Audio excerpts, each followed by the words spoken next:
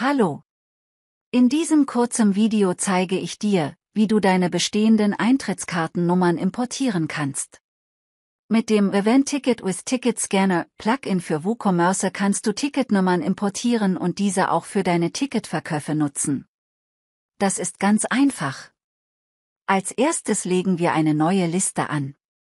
Du kannst auch gerne eine bestehende nutzen. Danach klicken wir auf den Button Add, um den Ticketgenerator aufzurufen. Hier könnten wir auch Ticketnummern vorab generieren. Diesen Schritt überspringen wir und gehen direkt zur Eingabemaske der Tickets. Ich habe schon ein paar vorbereitet und füge diese direkt unten ein. Du kannst auch neue generieren und mit deiner Eingabe ergänzen. Dann noch die Liste auswählen.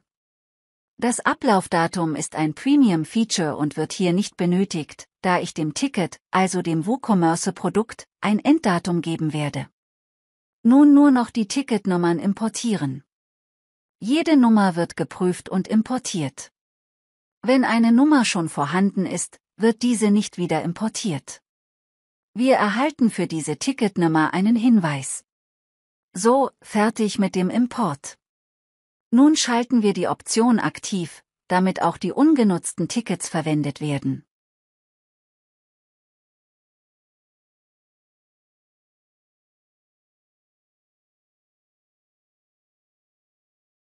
Als letztes müssen wir dem Produkt nur noch unsere Liste zuweisen. Fertig.